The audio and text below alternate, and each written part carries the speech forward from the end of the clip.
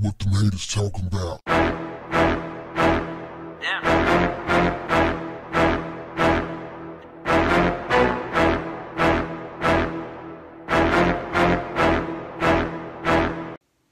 What's up, family? A Southern California teacher was caught on camera denigrating the intelligence of people serving in the U.S. military. In the video, which was recorded in class by a student at El Rancho High in Pico Rivera, California, history teacher Gregory Salcido, 49, can be heard making a variety of unflattering comments about people who serve, at one point calling them the lowest of the low. The video went viral after it was posted on Facebook. What doesn't go viral after it's reported on Facebook? Facebook is damn near breaking news.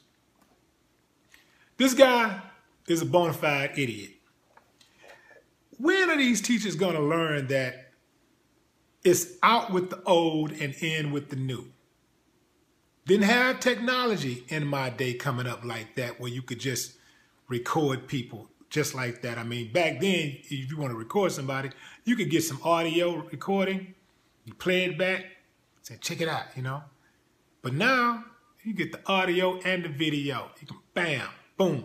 Now I'm not going to show it to y'all. I'm not showing you the video because YouTube uh, got these policies and things, and you know they'll block the video and all of that type of stuff and give my account a bad rating or whatever. So if y'all want to check it out, you know, just Google it and you'll see it.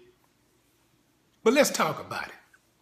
Let's talk about this teacher's bold comments about people who serve in the U.S. military being kind of slow. Let's be honest. To serve in the U.S. military, it doesn't take a whole lot of intelligence. I mean, it's not a very like high criteria, uh, criteria to to serve. Um, this is one of the reasons why even the highest ranking officers find trouble in their industry after they leave the Army or the Navy, the Air Force, Marines. It's very hard for them to get work. They can't compete. So let's keep it real. Now, of course, not everybody is slow.